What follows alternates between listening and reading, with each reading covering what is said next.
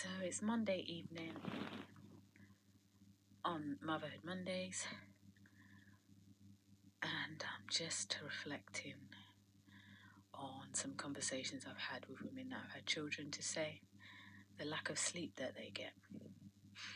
Now I'm feeling resentful because my sleep pattern is awful. I'm not getting the usual eight hours I used to get.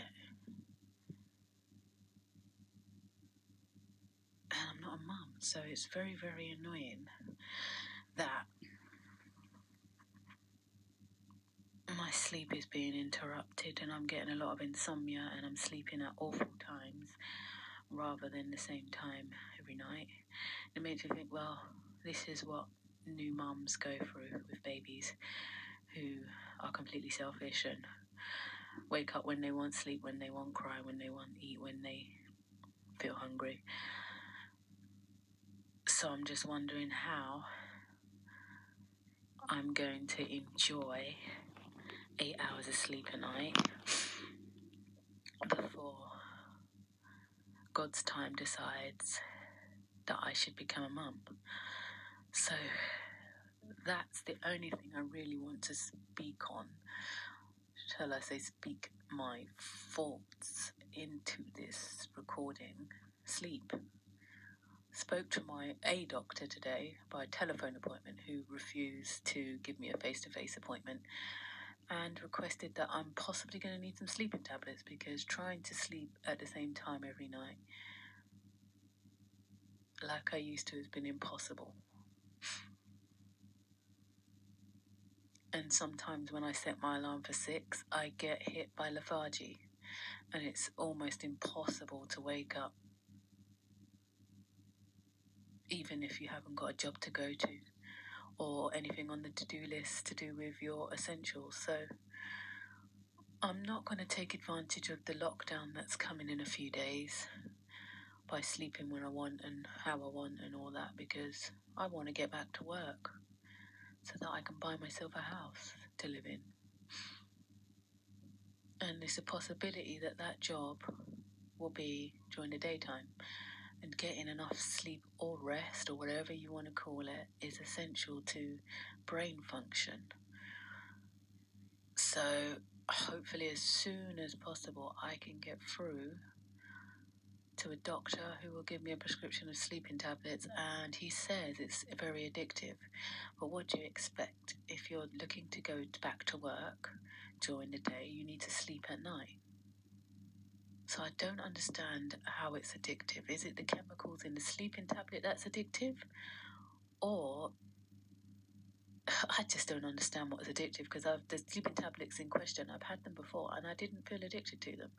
I was just quite upset that I was only getting four hours on them. I thought if you take a sleeping tablet, you can get eight hours. So, yeah, if there's such a thing as a sleeping tablet that can give me eight hours sleep a night before I get to that stage with the 3Ms of a, a reality and not just a wish, that'll be amazing. God, the NHS, they're doing their best, but it's, in, it's almost impossible they told me I had to sign on online. This is just a bit of a extra personal information. Nothing to do with motherhood, but can you imagine having a baby, being a mum, and trying to get an appointment during the COVID 19 global pandemic in England, London especially?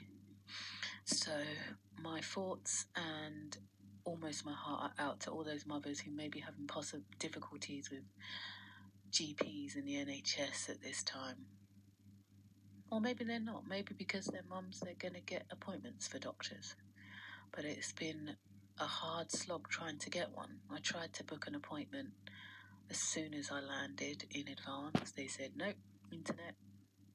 Went and done that. They said, sorry, we can't register you. Go to your surgery. Go to the surgery. They say they can't get a form for me to register online. So now I have to go in and ask for a text or a phone call. It's ridiculous, right? I'm not a millionaire. Can't afford private.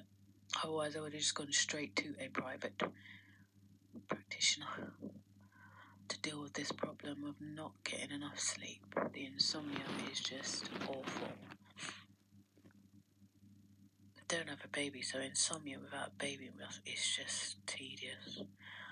Okay, so that's the only thing that is on my mind at the moment with regards to Motherhood Mondays sleep. And the mother, just remembering mothers telling me they don't get much sleep. And me not being a mum, not getting much sleep, seemed very pointless. So I'm just on the mission to get these sleeping tablets. Ugh. What a nightmare, eh? Okay, so signing out. Um, as you can hear in my voice, I'm very exhausted because the insomnia was terrible this morning, early hours. So I'm going to try and get some rest. So thanks for listening. I look awful. I've got shopping trolleys under my eyes had enough sleep. So I don't fancy talking into a camera right now. I'll be selfish, right? Okay, bye bye.